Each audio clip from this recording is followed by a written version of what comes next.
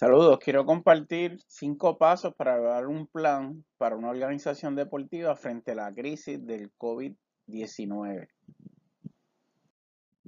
En primera instancia, nosotros debemos entender cómo funciona el ciclo del deporte con su dinámica de flujos y productos con respecto al COVID-19. El deporte, como parte del sector económico, requiere unos flujos de recursos o factores de capital de producción para la producción de un producto o bien de servicio, que sería un evento deportivo, un torneo, etc. Esto es lo que ocurre antes del COVID-19.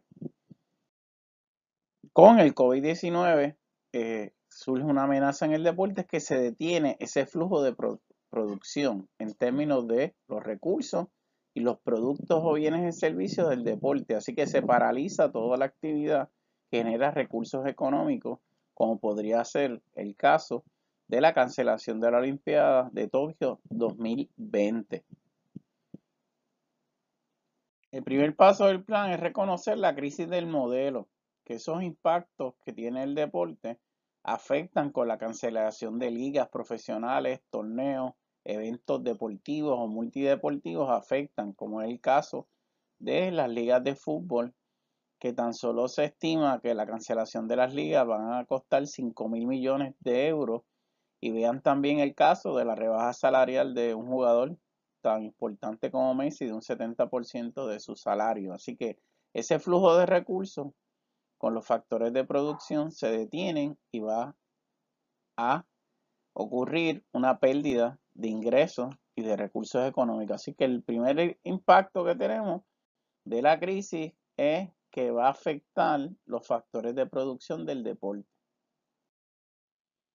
El segundo paso es que la organización deportiva frente al COVID-19 se tiene que comportar como una sala de emergencia en un hospital. El caso que nosotros ilustramos aquí es el caso del Comité Olímpico de los Estados Unidos, ¿verdad? Que depende en gran parte de los ingresos por la transmisión de la NBC de los Juegos Olímpicos los derechos le generan un total de 200 millones de dólares. Al cancelarse los Juegos Olímpicos, inmediatamente esta organización tan poderosa como el Comité Olímpico de los Estados Unidos se pone en riesgo su operación y su funcionamiento.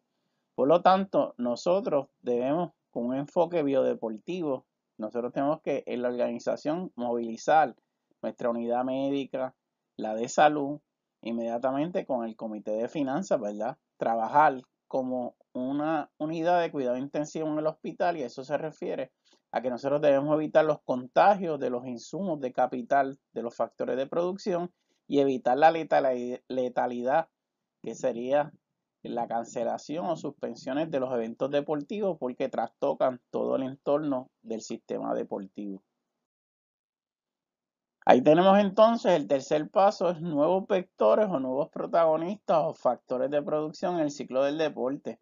Ahí vemos con el acuerdo firmado por la Organización Mundial de la Salud con el presidente del Comité Olímpico Internacional, como se ilustra en la foto.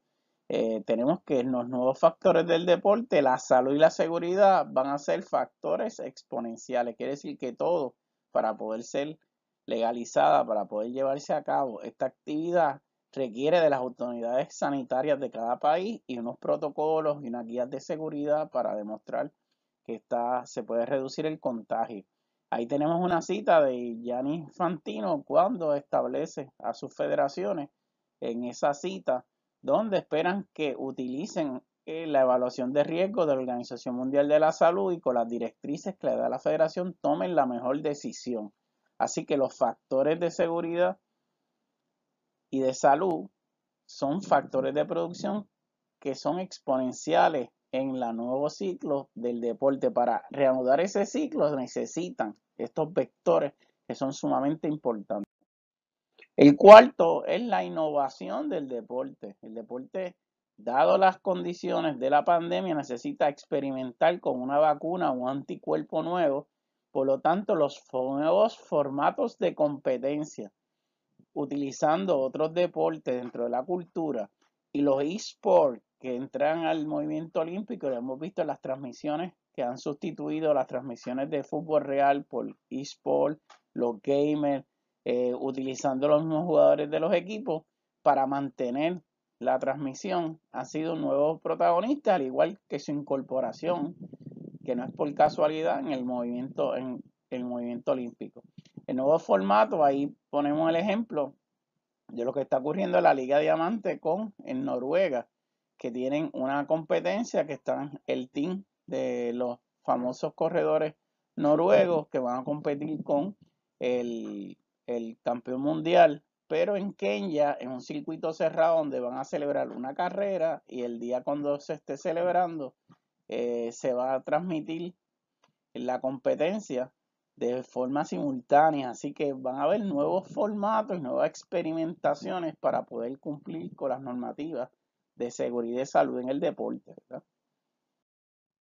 Y tenemos las decisiones claves para la sobrevivencia del deporte, va a ser la planar la curva, ¿verdad? Del ciclo del deporte, que quiere decir evitar los contagios y que esos contagios no sean mayores que puedan eh, hacer erosionar el sistema eh, sanitario. En esta ocasión el ecosistema del propio deporte para generar los productos y generar el sector económico que vaya. Por lo tanto, pues se prevé que una tendencia en el futuro sea con los nuevos rediseños del estadio, con poca capacidad para las personas y con una tecnología avanzada, y al igual que las nuevas experiencias que se susciten con los espectadores, especialmente con la tecnología y con la innovación, con la experimentación para llevar a un nuevo modelo del ciclo del deporte. Estos elementos nos hacen que estos cinco pasos para las organizaciones deportivas para enfrentarse al COVID-19 es la crisis del modelo, reconocer esa crisis del modelo con sus impactos, la organización en contingencia como una sala de emergencia, esas organizaciones, clubes, ligas, tienen que movilizarse rápidamente para atender esta situación.